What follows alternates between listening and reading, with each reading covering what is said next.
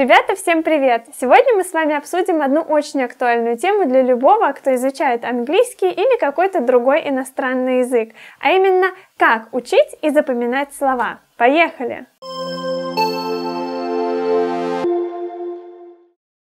Итак, обычное изучение иностранного языка начинается с грамматики. Однако, получив базовые знания и безуспешно попытавшись построить маломальски распространенное предложение, человек понимает, что ему не хватает словарного запаса. Он идет в магазин, покупает словарь и в ужасе понимает, что ему нужно выучить 100 тысяч слов. Но нужно ли на самом деле учить все 100 тысяч слов? Давайте разбираться. На самом деле даже носители не знают всех слов, которыми располагает словарь. Согласно информации в сети, среднестатистический американец имеет в своем словарном запасе от 10 тысяч до 20 тысяч слов в зависимости от уровня его образованности, из которых в повседневной речи он использует лишь 2000 слов. Прежде чем обсуждать, как нужно учить слова, давайте поговорим о том, как их учить не нужно, а не нужно их учить списком. Сейчас объясню почему. Вот вы выписали, скажем, 20 слов и через черточку написали перевод. Затем потратили добрый час на то, чтобы их выучить. И что мы получаем в итоге? Так как вы не знаете, как применяются эти слова на практике, ведь этого не написано в вашем конспекте, то есть не написано, с какими словами сочетаются, какой оттенок они имеют, то вы вряд ли сможете применить эти слова в диалоге или на письме. И вследствие того, что вы их не используете, слова в скором времени забудутся. А если не забудутся, то займут свое прочное место в вашем пассивном словарном запасе.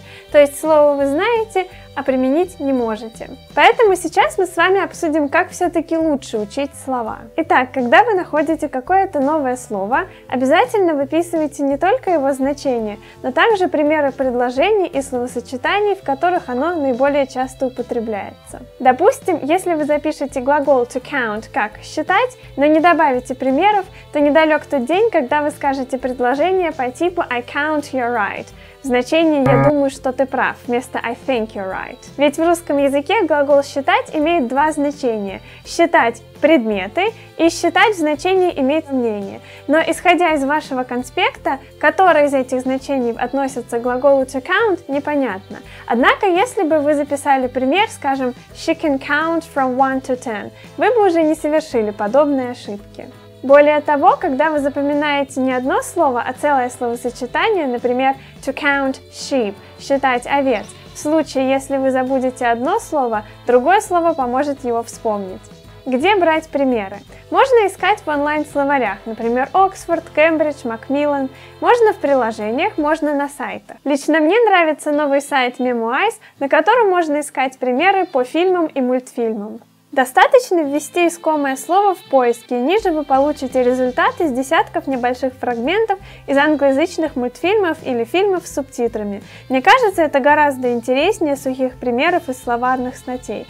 Но и так как мультики современные, то и язык будет как раз тот, на котором говорят именно сейчас, без каких-либо архаизмов. Поиск по мультикам осуществляется бесплатно, а по фильмам бесплатно только первые 7 дней. Но если вы введете промокод EnglishSpot, вас ждет скидка 60 55%. Когда вы слушаете примеры, обязательно повторяйте их вслух.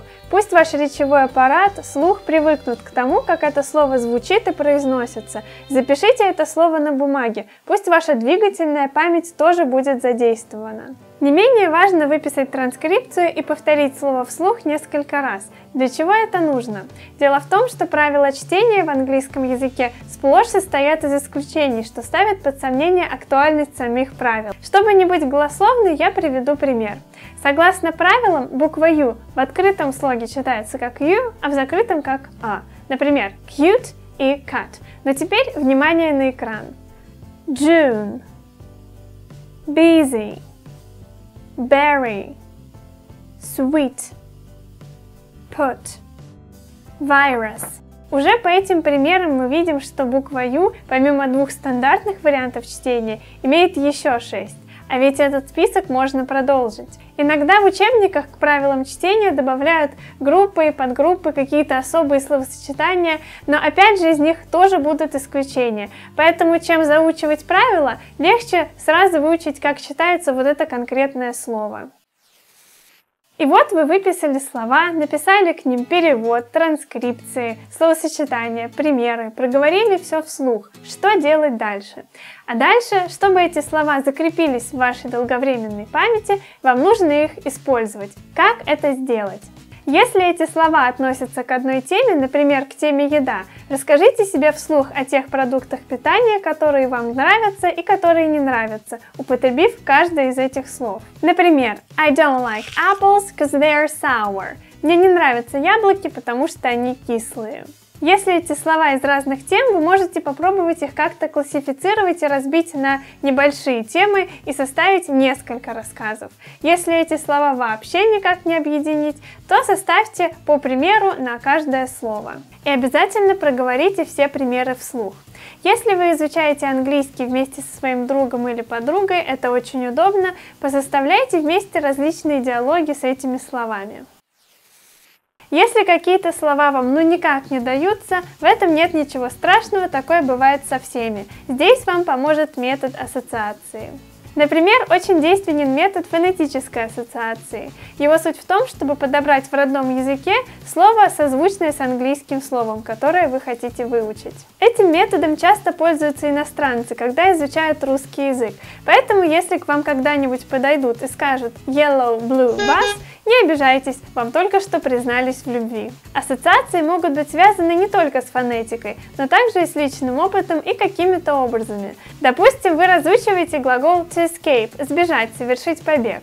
Попробуйте построить ассоциацию с клавишей Escape, которую вы нажимаете, когда хотите выйти из программы или приложения, то есть сбежать. Ну и последний совет – Повторите эти слова сначала через неделю, а потом через месяц. И поверьте мне, эти слова останутся с вами надолго. Конечно, при условии, что вы периодически будете их использовать. Если вам помог какой-то иной метод, обязательно поделитесь им ниже в комментариях, чтобы остальные ребята тоже смогли им воспользоваться. Ну что ж, на этом все, дорогие друзья. Оставайтесь такими же позитивными и любознательными. До скорых встреч. Пока-пока.